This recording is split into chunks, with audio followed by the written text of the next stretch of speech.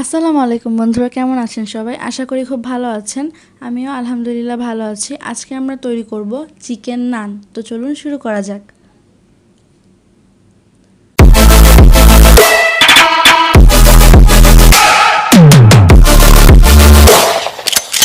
প্রথমে আমরা একটি মিক্সিং বলে তিন কাপ ময়দা নিয়ে নিচ্ছি।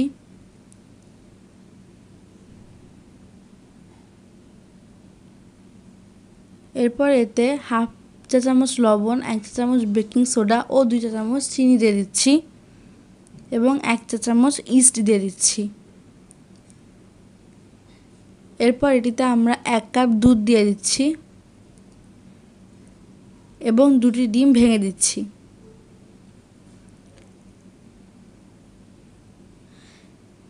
এবার একটি চামচের সাহায্যে এটিকে ভালোভাবে মিশিয়ে নিচ্ছি।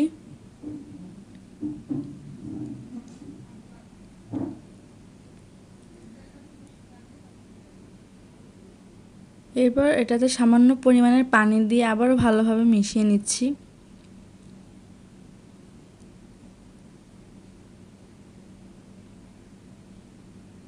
এবার এটাতে আমরা হাফ কাপ তেল দিয়ে, হাত দিয়ে ভালোভাবে মাখিয়ে নিব।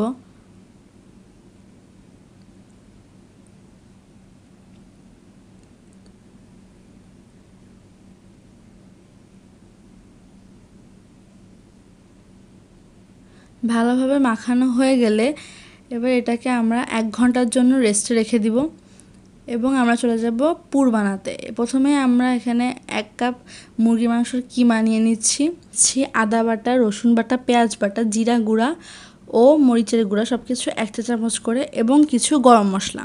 তারপর নিয়ে নিচ্ছি এক কাপ পেঁয়াজ কুচি, এক কাপ গাজর কুচি, এক কাপ বরবটি কুচি হাফ কাপ আলু কুচি হাফ কাপ ধনিয়া কুচি ও এক কাপ মিষ্টি কুমড়া কুচি এবং চার থেকে পাঁচটি মরিচ কুচি। ফ্রাই প্যানে আমরা বাটার ও ঘি দিয়ে দিচ্ছি এবার। ঘি আর বাটার সামান্য মেল্ট হলে এর ভিতরে আমরা পেঁয়াজ কুচিগুলো দিয়ে দিচ্ছি, দিয়ে হালকা ভেজে নিচ্ছি।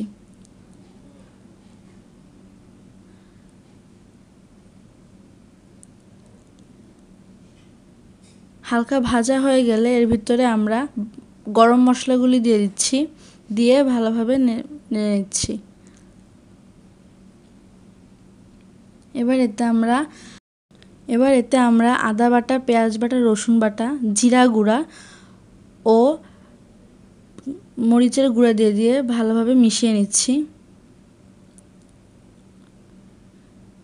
তারপর এটিতে সামান্য পরিমাণে লবণ দিয়ে আবার একটু মিশিয়ে নিচ্ছি। এরপর এতে আমরা মুরগির কিমাগুলো দিয়ে দিচ্ছি, দিয়ে ভালোভাবে নেড়ে নিচ্ছি।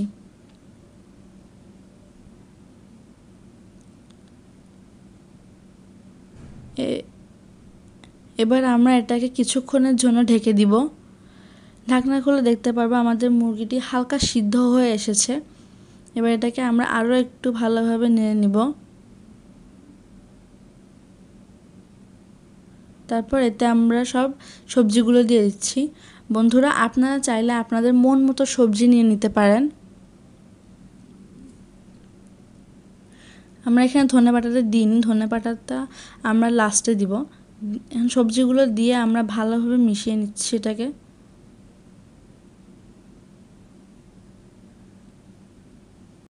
এবার এটাতে আমরা সামান্য পরিমাণের পানি দিয়ে ঢেকে দিব। দুই থেকে পাঁচ মিনিট পর আমরা ঢাকনাটি খুলে দেখতে পাবো আমাদের সবজিগুলো প্রায় সিদ্ধ হয়ে এসেছে। এবার এটাকে আমরা আবারও ভালোভাবে মিশিয়ে নিব।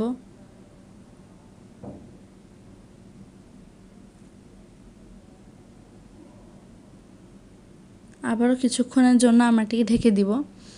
কিছুক্ষণ পর ঢাকনাটি খুলে দেখব আমাদের পুরটি হয়ে গেছে, বন্ধুরা।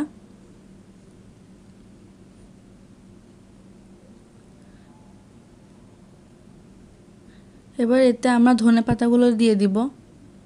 দিয়ে ভালোভাবে নেড়ে নিব। এবার আমরা এটিকে নামিয়ে ফেলব।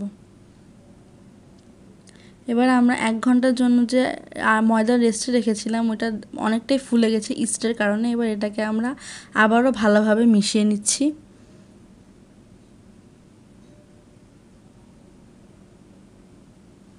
হাতে একটু আটা নিয়ে আমার এটাকে ভালোভাবে মিশিয়ে নিচ্ছি।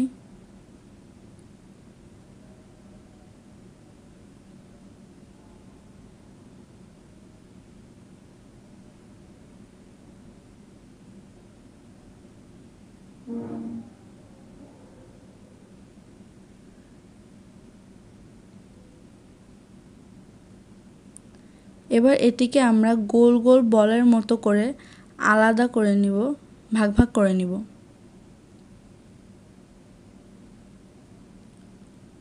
খুব ভালো করে দেখুন বন্ধুরা, আমি কীরকমভাবে করছি।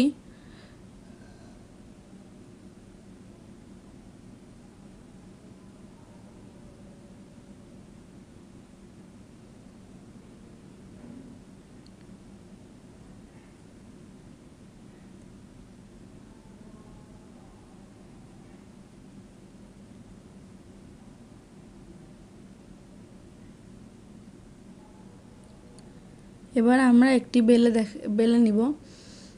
প্রথমে একটু আটা নিয়ে এটাকে হাত দিয়ে ভালোভাবে গোল করে নিব। এবার এটাতে আমরা সামান্য পরিমাণের পুর দিয়ে দিচ্ছি। এবার এর উপরে সস দিয়ে দিচ্ছি।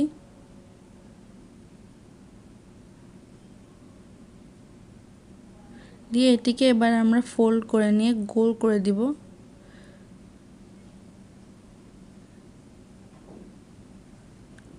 সামান্য একটু আটা দিয়ে কোনাটাকে ভালোভাবে লাগিয়ে দিয়ে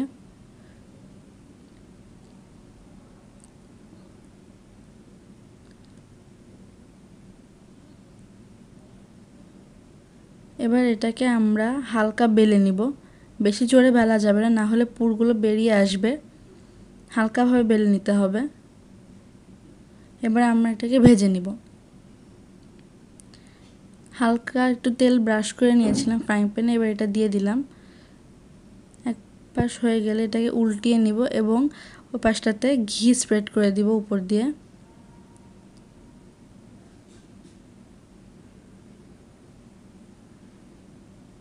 এভাবে করে উল্টিয়ে পাল্টিয়ে ভেজে নিতে হবে।